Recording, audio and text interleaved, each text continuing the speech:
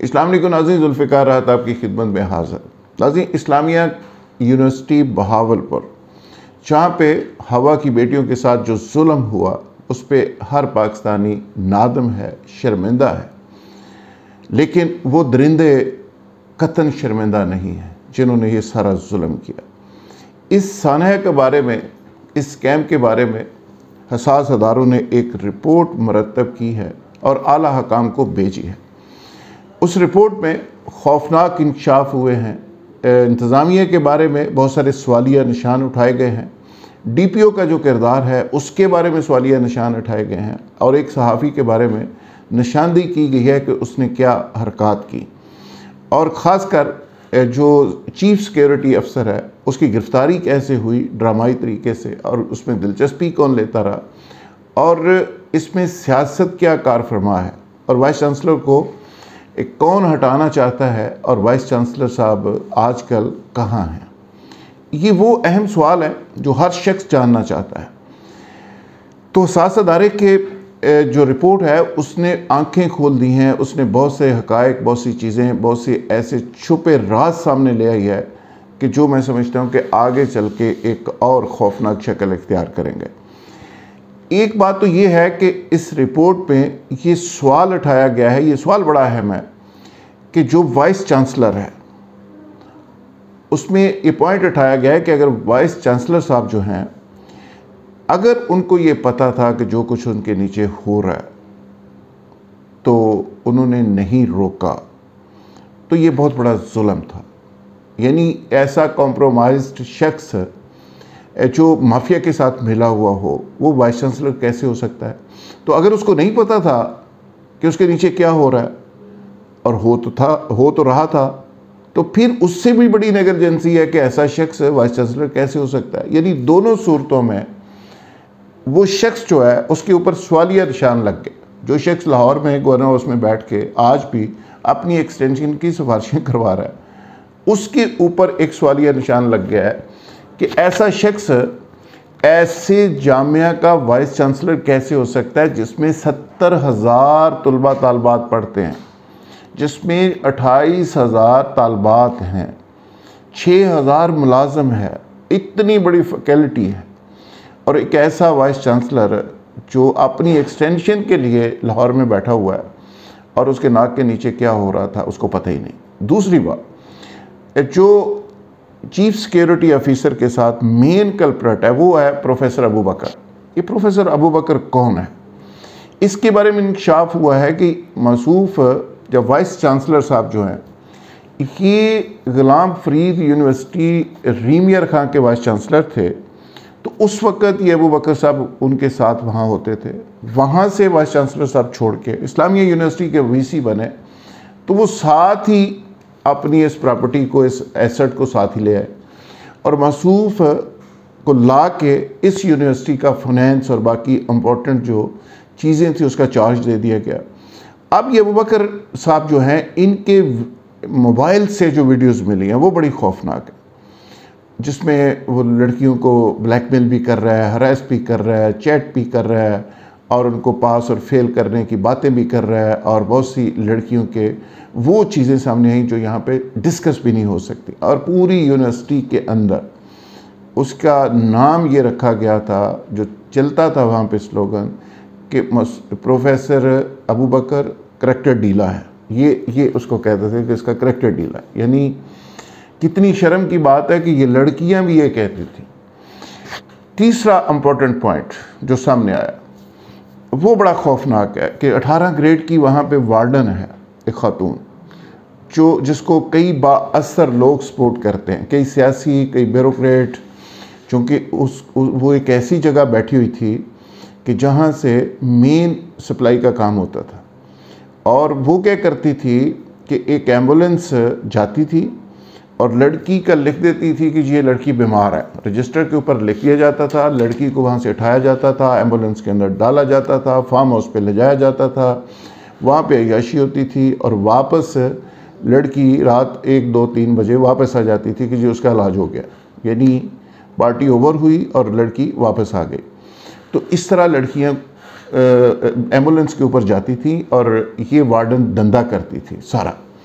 और वहाँ पे बासर लोगों के पास ले जाना, फार्म हाउसेस पे ले जाना, ब्यूरोक्रेट्स के पास ले जाना, अफसरान के पास ले जाना तो ये उसका धंधा था और प्रोफेसर हजरात की पार्टियों के अंदर भी लड़कियों को ले जाना। और लड़कियों के अंदर एक रेस लगी हुई थी कि जिस लड़की ने पास होना है वो आ जाए।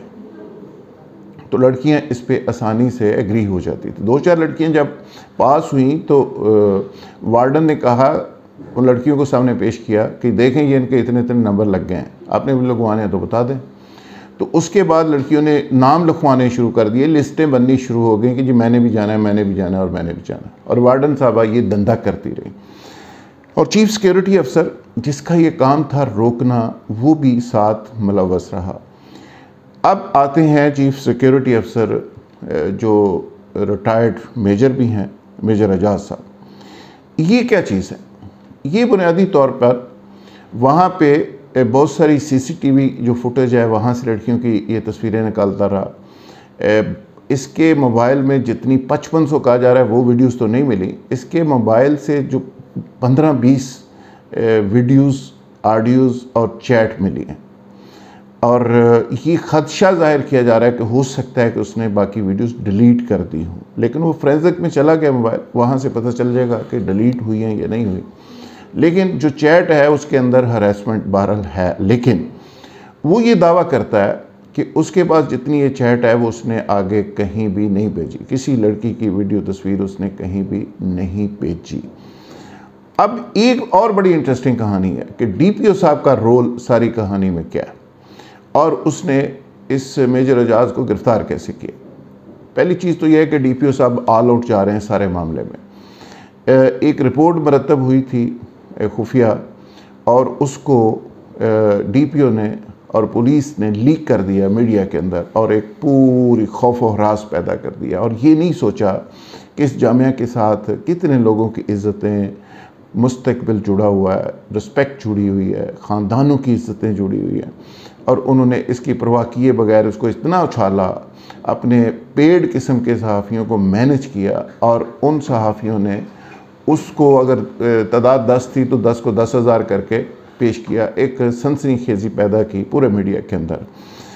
फिर ही कहानी बड़ी अजीब है कि मेजर एजाज को गिरफ़्तार कैसे किया। उसके लिए डीपीओ साहब ने, पुलिस ने बाकायदा एक लड़की अरेंज की।